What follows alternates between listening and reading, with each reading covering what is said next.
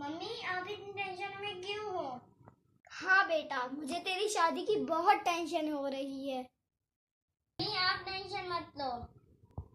Tension तो होगी ही बेटा। हम लोगों ने पहले तो बेटियों को अपनी ही कोख में मार दिया। और आज मुझे अपने बेटे के लिए लड़की नहीं मिल रही। और आज मुझे पता चल रहा है कि कन्या भ्रूण हत्या आने वाले समय में कितना भारी पड़ेगा। हाँ माँ, आप सही कह रहे हो और मैं कसम लेती हूँ कि ऐसा कभी नहीं होने दूँगी। मैं चाहूँगा हमारे घर में पहली बेटी कन्या भ्रूण हत्या सबसे बड़ा अपराध है।